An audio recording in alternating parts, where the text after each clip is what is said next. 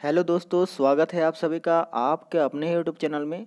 दोस्तों, मैं आशा करता हूँ कि जो मैंने आपका पहला वीडियो बनाया था प्रतिशत का तो आप लोगों को समझ में आ गया होगा। अगर आप उसे समझना चाहते हैं, और फिर से अगर समझना चाहते हैं तो आप हमें कमेंट करके बता दीजिए, मैं उसे आपको फिर से समझा समझा दूँगा, ठीक है? लेकिन किसी का भी कमेंट नहीं आया, कि समझ में नहीं आया, इसीलिए मैं वो फिर से नहीं समझाना चाह रहा हूँ, क्योंकि टाइम वेस्ट होगा। तो आज मैं उसी टाइप का क्वेश्चन को और इजी तरीके से मतलब नेक्स्ट जो ट्रिक है मैंने उस वीडियो में बताया था कि इस वीडियो में मैं आपको नेक्स्ट ट्रिक बताऊँगा, जो उससे भी इजी है। तो आज उसी को हम लोग पढ़ने वाले हैं। और देखिएगा कि कैसे आपको क्वेश्चन जो आंसर है, वो आपका विथ इन सेकेंड में आंसर आ जाएगा। और इसको आपको करने के बाद आपको अपना बुक से भी बनाना है, ताकि आपको पता चल सके कि आप बना पा रहे हैं कि नहीं पा रहे ठीक है? तो देखिए, इस टाइप का जो क्वेश्चन रहता है, उसमें आपको किसी एक ही संख्या में आपको वृद्धि और आपका उसमें कमी करके दिया रहेगा। तो इस टाइप से आपको बनाना है। ठीक है? या तो दोनों वृद्धि दे सकता है या फिर एक वृद्धि या फिर एक कमी दे सकता है। तो किसी, किस टाइप से बनाएँगे? विथ इन सेकेंड में मैं आपको इस वीडियो में बताने वाला हूँ। तो वीडियो को आप लास्ट तक ज़रूर देखिएगा। देखिए क्वेश्चन क्या बोल रहा है कि एक संख्या में दस परसेंट की वृद्धि करने पर, ठीक है? यहाँ पर देखिए क्या हो रहा है कि किसी एक संख्या है, इसमें दस परसेंट की वृद्धि हो रहा है। बाद में बढ़ी हुई संख्या में दस परसेंट की कमी करने पर प्राप्त संख्या क्या होगा? तो इस क्वेश्चन का आपको सॉल्व कैसे करना है? सबसे पहले क्या बोल रहा है कि किसी संख्या में दस परसेंट वृद्धि करने पर? तो देखिए, जो हमारा जो जो मूल संख्या रहता है, वो हम लोग कितना लेते हैं? सौ लेते हैं, ठीक है? जब उसमें हम लोग दस परसेंट वृद्धि कर देंगे तो कितना हो जाएगा? एक सौ दस हो जाएगा। ठीक है तो पहला वाला में क्या बोल रहा है कि दस परसेंट वृद्धि तो क्या हो जाएगा? एक सौ दस बटा हंड्रेड। यहाँ पर देखिए एक सौ दस बटा हंड्रेड। पहले अगर एक सौ था तो दस परसेंट वृद्धि करने के बाद कितना हो जाएगा? एक सौ दस हो जाएगा। ठीक है? ये हमारा पहला काम हो गया। सेकंड में हमारा क्या बोल रहा है कि दस परसेंट की कमी करने पर। ठीक है? तो अगर पहले हमारा सौ था तो फिर दस परसेंट की जब हम लोग कमी करेंगे तो कितना आ जाएगा? नब्बे आ जाएगा। तो इंटू करके आपको उसी संख्या का है ना, इसीलिए हम लोग यहाँ पर इंटू कर रहे हैं। तो इंटू करके आपको नब्बे बटा सौ लिखना है। इसके बाद आपको एक काम आपको करना है कि नीचे आपको किसी भी तरह, नीचे आपको किसी भी तरह सौ रखना है, ठीक है? कहा चाहे आप किसी भी तरह काटे, आपको नीचे सिर्फ़ सौ ही रखना है, ठीक है? क्योंकि उसी के रेस्पेक्ट में हमको जो प्रतिशत कमी है वो आपको निकालना है, ठीक है? तो नीचे आपको हमेशा याद रखना है कि नीचे हमेशा आपका सौ आना चाहिए। आप किसी भी तरह काटे पॉइंट में रखें, लेकिन नीचे सौ आना ही चाहिए।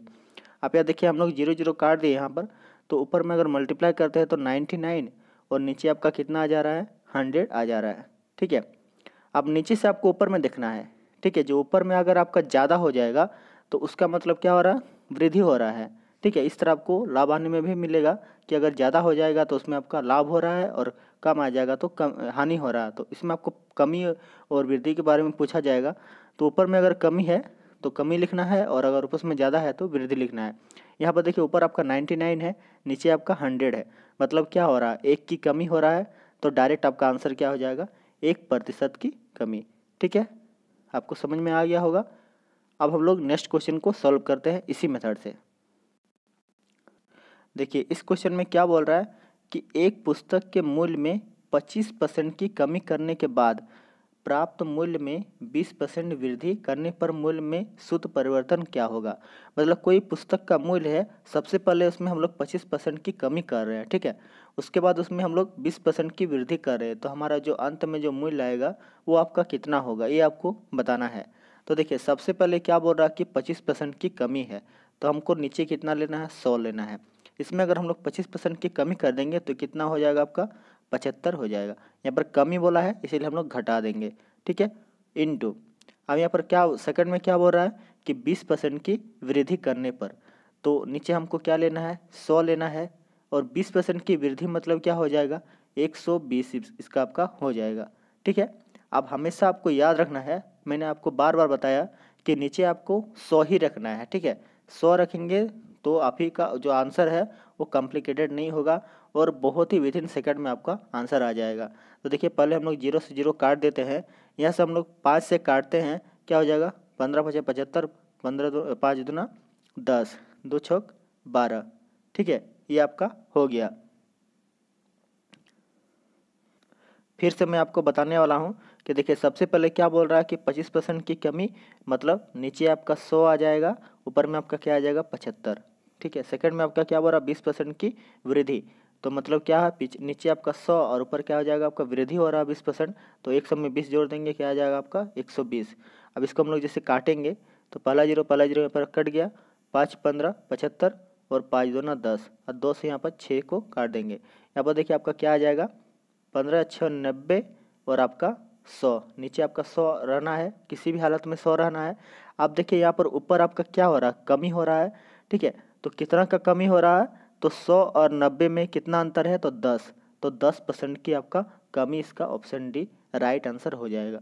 ठीक है तो इस तरह आपको क्वेश्चन को सॉल्व करना है। एग्ज़ाम में विथ इन सेकंड में आपका सॉल्व हो जाएगा। नेक्स्ट वीडियो में मैं आपको दूसरे टाइप का क्वेश्चन को बताऊँगा। तो आप वीडियो को लाइक ज़रूर कीजिएगा।